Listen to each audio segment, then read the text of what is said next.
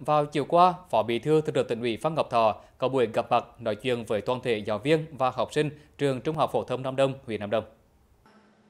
Tại buổi gặp mặt, Phó Bí thư Thường trực Tỉnh ủy Phan Ngọc Thọ đã thông tin đến toàn thể cán bộ giáo viên và học sinh nhà trường về tiến trình và mục tiêu phấn đấu xây dựng phát triển Thừa Thiên Huế đến năm 2025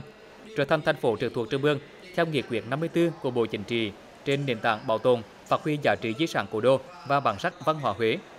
với đặc trưng văn hóa, di sản, sinh thái, cảnh quan, thân thiện môi trường và thông minh. Để đạt được mục tiêu theo đúng định hướng nghị quyết này, công tác giáo dục là một trong những lĩnh vực then chốt trong phát triển kinh tế xã hội. Vì thế, đòi hỏi mỗi cán bộ, giáo viên và học sinh trường Trung học phổ thông Nam Đông bên cạnh dạy và học kiến thức cần góp phần cùng với tỉnh Thừa Thiên Huế tập trung và hướng đến giáo dục kỹ năng sống,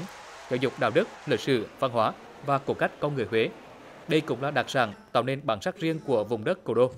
Trong buổi trò chuyện, Phó Bí thư Thường trực Tỉnh ủy Phan Ngọc Thọ cùng chúc mừng và biểu dương thầy trò trường Trung học phổ thông Nam Đông đã đạt được 18 giải, trong đó có một giải nhì và 9 giải ba ở các kỳ thi học sinh giỏi cấp tỉnh trong năm học này.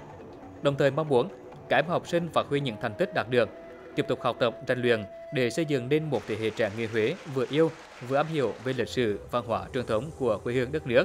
vừa giỏi ngoại ngữ, giỏi vi tính để hội nhập và phát triển.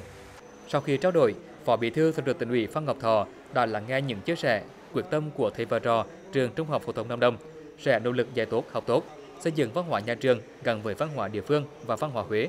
Tiếp tục lan tỏa những thông tin đã được tiếp thu để mỗi người dân, mỗi học sinh trên địa bàn huyện Nam Đông cùng chung ý chí, đồng sức đồng lòng trở thành những nhân tố quan trọng góp phần để Huế phát triển bền vững, sớm đạt được mục tiêu trở thành thành phố trực thuộc trung ương.